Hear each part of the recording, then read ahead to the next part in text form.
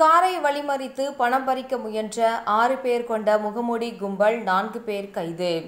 காரில் பொருத்தப்பட்டுள்ள சிசிடிவி காட்சிகள் வைரல்.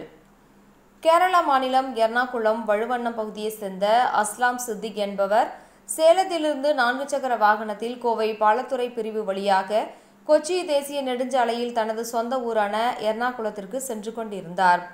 அப்பொழுது இரண்டு இன்னோவா காரில் முகமூடி அணிந்து வந்த ஆறு பேர் கொண்ட கும்பல் அவரை வழிமறித்து கட்டையால் தாக்கி பணத்தை கேட்டுள்ளனர். இதில் நிலை தடுமாறி அவர் மீண்டும் அவர் நான்கு சக்கர வாகனத்தை எடுத்துக்கொண்டு தப்பி சென்றார். அவர் சென்ற வாகனத்தில் பொருத்தப்பட்டுள்ள சிசிடிவியில் அவரை பார்க்க வரும் அதிர்ச்சி ஏற்படுத்தும் பரபரப்பு காட்சிகள் பதிவாக்கியுள்ளது அவரிடமிருந்து தப்பிய அஸ்லாம் சித்திக் அது குறித்து மதுக்கரை காவல் நிலையத்தில் புகார் அளித்தார்.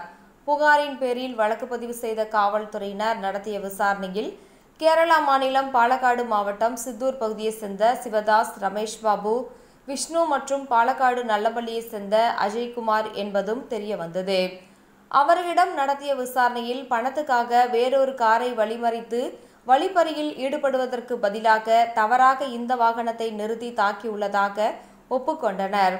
அவர்கள் மீது வழக்கு பதிவு செய்த காவல்துறையினர் அவர்களை கைது செய்து கோவை மதுக்கரை குற்றவியல் நீதித்துறை நடுவர் நீதிமன்றத்தில் ஆஜர்படுத்தி கோவை மத்திய சிறையில் அடைத்தனர். மேலும் தலைமறைவாக உள்ள இருவரை தேடி வருகின்றனர். அஸ்லாம் சித்திக் ஓட்டி வந்த நான்கு சக்கர வாகனத்தில் பொருத்தப்பட்டுள்ள சிசிடிவி கேமராவில் பதிவான அதிர்ச்சியை ஏற்படுத்தும் பரபரப்பு காட்சிகள் சமூக வலைத்தளங்களில் வைரலாகி வருகிறது.